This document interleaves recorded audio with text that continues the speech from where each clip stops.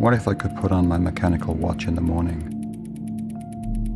Or even after a month, and it would always show the right time. I mean, not without caring about it, but without having to think about it.